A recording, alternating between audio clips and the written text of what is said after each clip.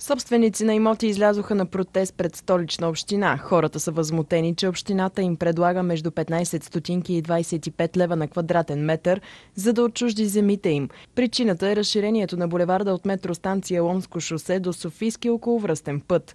Ние сме съгласни да ги вземат, но да ни дадат за същите пари да си купиме на същото място общинска земя. Разбирате ли ми?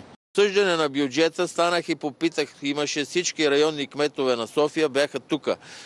Кой може за тия пари да ни осигури да си закупиме имоти? Никой не стана, нищо не ни отговориха.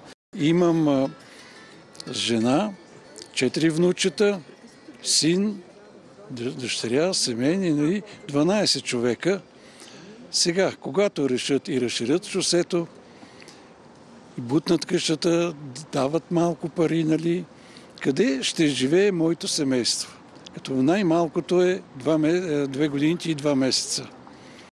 Телевизия Алфа се ангажира да вземе мнението и на двете страни, за да се чуят и двете гледни точки. Очаквайте подробности относно казуса с отчуждаването на земите и техните собственици.